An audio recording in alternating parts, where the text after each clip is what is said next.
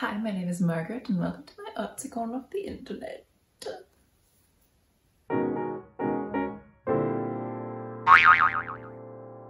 So, last time I reacted to BTS, we did the On Kinetic Manifesto. And now we're going to be reacting to the same thing, but it's slightly different because this one is their practice video. And yeah, yeah, I like watching the practice videos because it's like, you know, I don't, I like watching the practice videos because it feels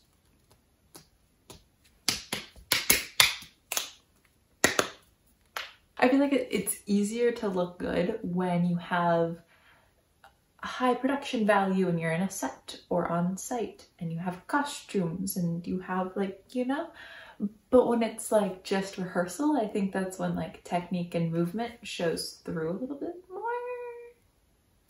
Maybe? Well, then on the other hand though, like when you're performing, you're not thinking as much about technique. So then like that's when you have to rely on technique because you can't think about it. So it just has to be there, which is like almost an entirely different skill than what you actually are practicing when you're rehearsing because then you're thinking about the technique and then it's really hard to rehearse performing because when you start performing, then just like all of your thoughts leave your head and then you're just like,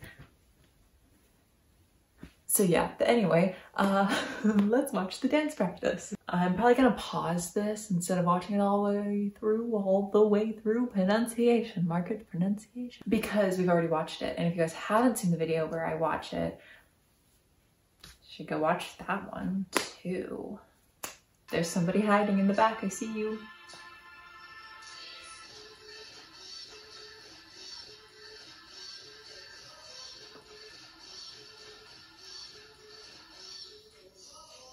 20 seconds and I already have so much to say. Um, somebody in, in the last video had commented talking about how they use white drumsticks on this black background and it makes it very much like stick out. And I agree, especially because all the backup dancers right now are in black. And so anything that isn't, you know, and like black floor, black shoes, black clothing, black back curtain, the white really sticks out. And it just may it makes it even look more sharp and more more percussive than it did when they were out in like the blue skies and the gray concrete and I were they wearing white? No, they weren't wearing white. But you know, the sticks can blend in a little bit more in a bright atmosphere, but here they're very like stark and stick out. So that's one thing that I think is making it look very like pow pow. It also gives just more extension and length to the limbs. Second thing though is this is clearly like their rehearsal video. So all of the dancers in this video were also in the other video, but they were in like a dam in the last one. So huge open space. This they're in obviously like a studio and it's a very large studio, but having that many dancers in a more confined space, first of all, it looks like there's like 20 more of them, even though there, there's not, but it, it looks like there's so many people. But also the amount of energy is like vibrasive. I'm just gonna make up my new my own vocabulary. You know, it's like a you took a bunch of energy, and if you have a bunch of energy in like a big space, it doesn't feel like that much energy. But like if you compact all of that energy into like this like tiny little thing, then it's just like vibrasive. it's like a black hole, right? I mean, unless you get into like too small of a studio and you're like 30 people in like this tiny little box, and then that's just like broken nose city. You're just like, oh, oh, sometimes dance is really a contact sport and like half of your energy is just attempting to not get hit by people's flying limbs. Yeah, that's always a fun part.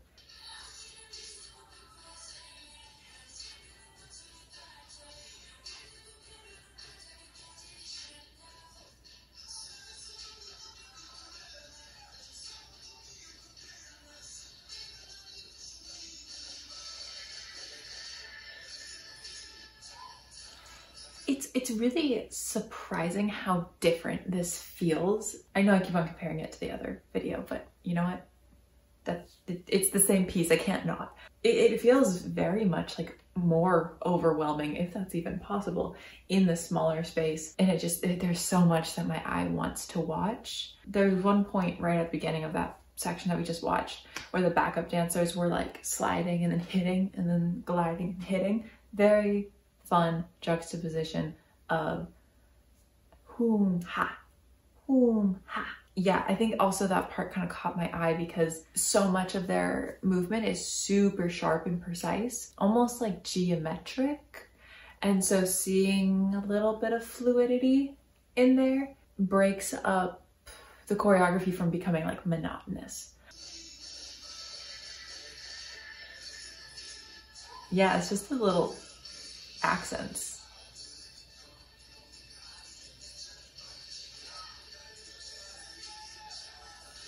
I love a wave.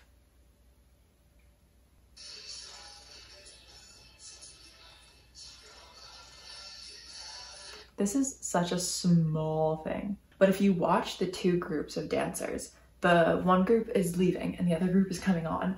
And the group that's leaving is walking ba ba ba ba ba ba ba. And the ones coming on are going ba ba ba it's little things like that that I think make this dance so dynamically interesting, but it's, they're things that you miss because who's gonna really notice that one's walking every count, the other one's walking every other count. But like the amount of like dynamic interest that that then makes, because also they're super clean. So like if one of them was like off, it'd be like, mm. but because they're so clean and it is different, it adds like this like extra layer.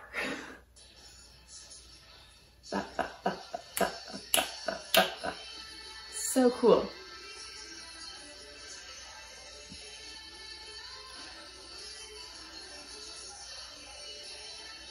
I also think that this is really interesting use of the space. And again, this isn't really something, I guess I don't know what this was in the other video, but when it's put in a space, again, confined, you can see little things like this. The uneven balancing of dancers in the space, right now, stage left um, stage right, the left of the screen, stage right, but left of the screen is way heavier.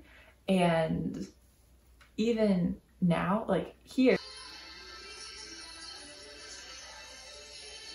you have people dancing on center and then you have a line of, what is that, like 12 people on the stage right. And then stage left is just completely empty. And oh, I, I talked about like kinetic versus potential energy. And I don't know if that was their inspiration, but I feel it. It almost feels like the whole stage like wants to like tilt. Um, it feels like they're playing with building up all this energy on one side of the stage so that you're like, what's going to happen with all that empty space on the other side, right? Um, it's the imbalance of energies is so cool and how that's being played with within like the like mm, mm, what do we call this? Geographical? Oh my gosh what is the word? Distribution of people within the space? Yeah let's go with that. Then we have all of the dancers coming over to this side of the space. And then we have the three bts members filling in that gap of emptiness so then it's like all of like that like buzzing potential energy around the emptiness of like, why isn't being filled is now filled. And so it draws our eye because it everything was so weighted to one side that now we've filled that space and it's like, oh.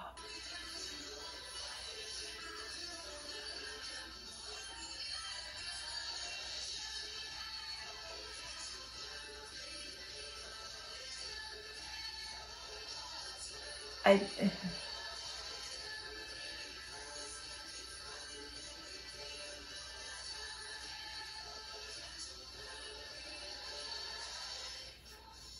I wish I had words. I just I don't. It's it's uh, it's so explosive. like it's just like wow. I think one of the things that they do really nicely in this particular section is uh, throwing. Uh, when you're moving that quickly, you can't like muscle like grip to move your arms. You have to kind of be able to like flow it um, and uh, yeah, like throw it around. I don't know, like if you're throwing like a football or something, it's gonna move faster if you just throw it instead of like, and like walking it over to the guy. That's terrible, terrible metaphor, but like it's, it's true. Not that I've ever been able to throw like a nice spiral football, but you know, I know the mechanics of it. I think because they're being so throwy with things, it it's like they're throwing like uh, the energy off of them. Like when a dog is like all wet and they're like, also known as they shake, uh, they like throw off the water, right? That's kind of what they're doing, but like throwing off the energy. And then us as the recipients are like, ah, ah, ah, catching the energy. So they have like this very like, you know, they're throwing it, but it's still like controlled, but they're, you know, they're throwing it. They're not like muscling it all. They're throwing it. But they also find um, accents. I, I think that when they go up down is a good a good illustration of this because it, they're they're not muscling it, but they're also not just like blah, like flailing it. They find um like oh like if you're throwing a football, there's like a point of release when you kind of have to snap it because it's leaving your hand, right? So they have like a moment of like snapping it and then like the recovery. So it's not just flinging, throwing about. There's like a certain moment of snap. I probably look like one of those guys outside of car dealerships right now. Just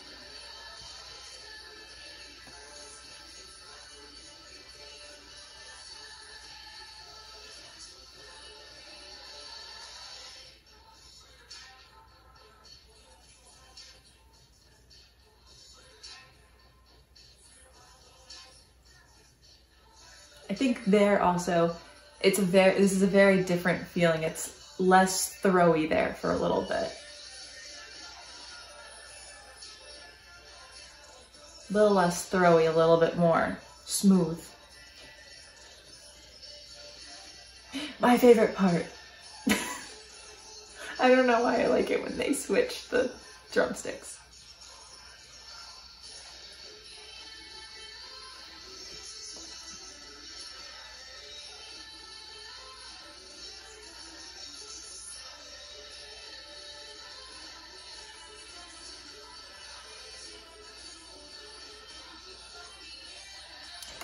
Love that little part because he does like a little like doo doo doo doo doo boop with his feet, but he does it so casually that you wouldn't even notice. It still kind of looks like he's just like, you know, like a little.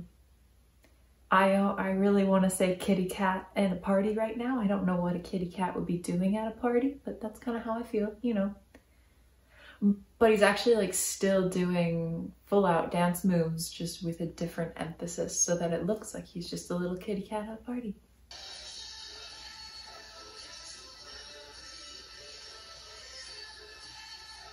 We're back to this very flowy, not flowy. I keep I'm saying flowy, it's not flowy. I also really like, and this is not something that's necessarily like related to this specific piece. But I really like how they bring back like choruses, but in dance so that there's recognizable movement.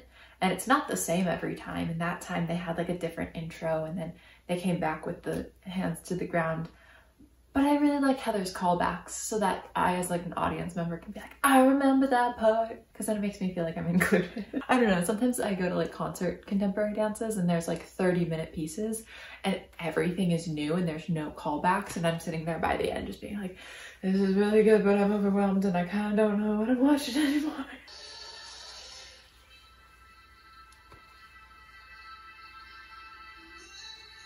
It's such a, that, that's such a good build up just having each one of the members like leave one by one, it's a really like I don't want to say low energy because it's not low energy, but like compared to the what the rest of what they've been doing.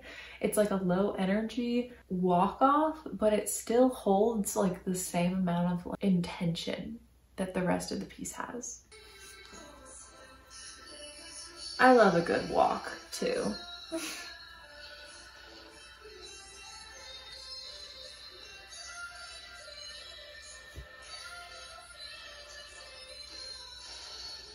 Sorry.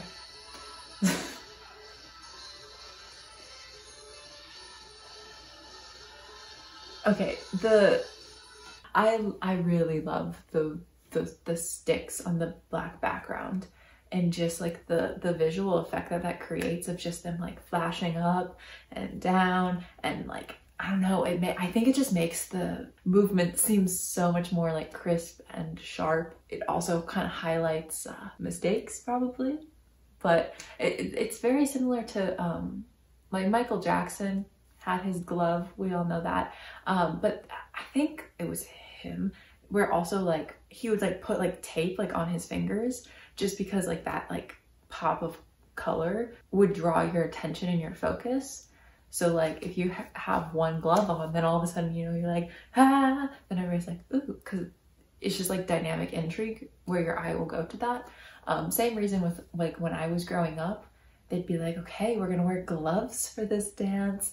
But then it was like, if you wear gloves for a dance, everybody's fingers have to be like the exact same right? Because if you're just watching a dance and somebody's hand is like this and somebody else's is like this, not really a big deal. All of a sudden you put gloves on that and people are like, this is the messiest dance I've ever seen in my entire life. And you're like, okay, well, this is a fifth grade dance recital. But also like gloves just emphasize the hands. So the hands better be like, can you tell that I'm really jazzed? I'm talking with my hands so much today.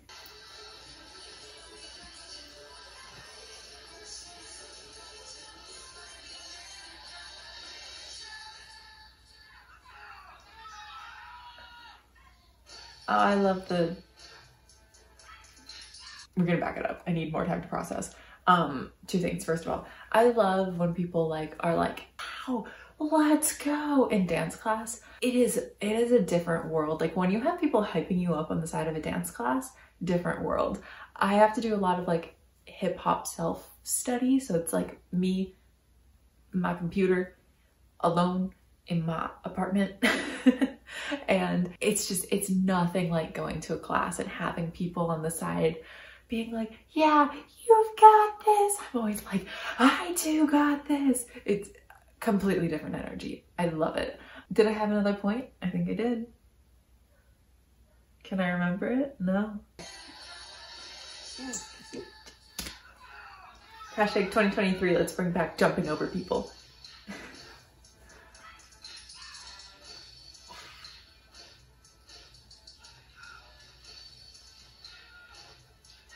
I'm so geeked. I love this part.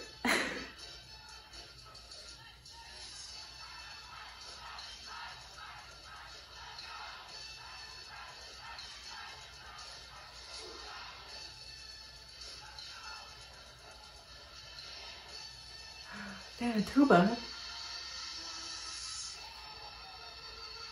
Compliments to the chef. Compliments to the chef. Yeah, man. I literally go to college for dance. I want to be able to do that. I think one of the reasons why it's so impressive is because they mix this very hip hop style, fast footwork, fast, percussive, sharp, small to hip hop, and then all of a sudden their leg is just and you're like, whoa, where did that come from? and it's, it's crazy because you miss it. Like you miss it and then you see it and you're like, did they just do a full barrel jump? And you're like, yes, yes, they did. And it's so fast, so fast. You can also hear the backup dancers like going like, oh, ah, he, oh, he. and you could, you just, just, you feel like the pulse of energy that it's like, yeah, yeah, yeah, yeah.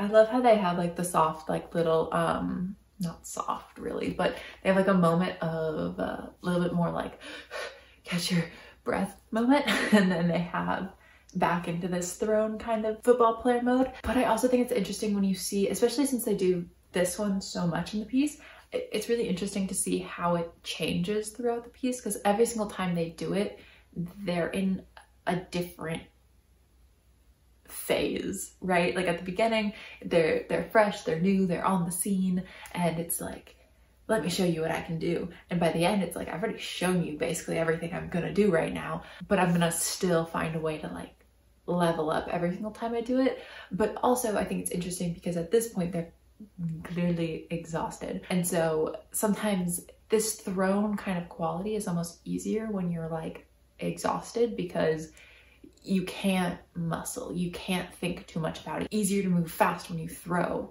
a little bit more. And so when you're exhausted and you don't have that much energy left to give, you have to be very um, careful with how you use that energy. So I think it's just interesting how they use their exhaustion to complete the steps. Does that make sense?